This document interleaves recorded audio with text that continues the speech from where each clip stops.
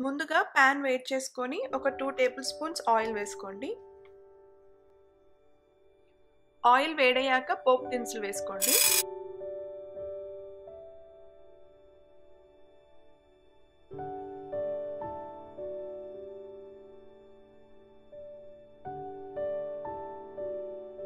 ఇప్పుడు కట్ చేసిన దొండకాయ ముక్కలు వేసుకోండి. ఉల్లిపాయ చివర్లో వేస్తాము లేకపోతే దొండకాయలు త్వరగా వేగవు.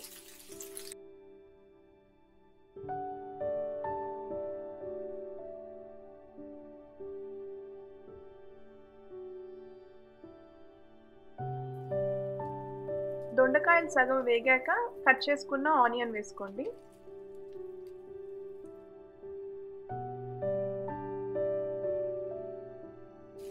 మధ్య మధ్యలో కలుపుతూ ఉండండి. లేదంటే అడుగు మాడిపోతుంది.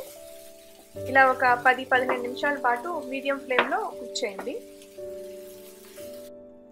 దొండకాయలు బాగా వేగాయి కదా? ఇప్పుడు కొంచెం కారం వేసుకోండి కావాల్సినంత. అలానే కావాల్సినంత ఉప్పు కూడా వేసుకోండి. మనం ముందు కొంచెం వేసుకున్నాం కదా సో దాన్ని బట్టి వేసుకోండి. అంతా ఒకసారి కలిపేసి ఒక టూ మినిట్స్ అలా లో ఫ్లేమ్లో కొంతసేపు కుక్ చేయండి. కొబ్బరి కారం కానీ వెల్లుల్లి కారం కానీ ఉంటే అది యూస్ చేయండి కారం బదులు. టేస్ట్లో చాలా చేంజ్ వస్తుంది చాలా బాగుంటుంది కూడా.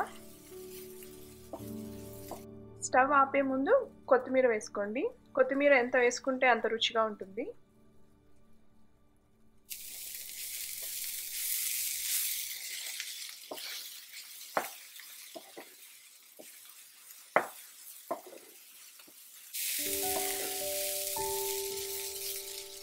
కొత్తిమీర ఆకులు దగ్గర పడే వరకు వేయించుకోండి.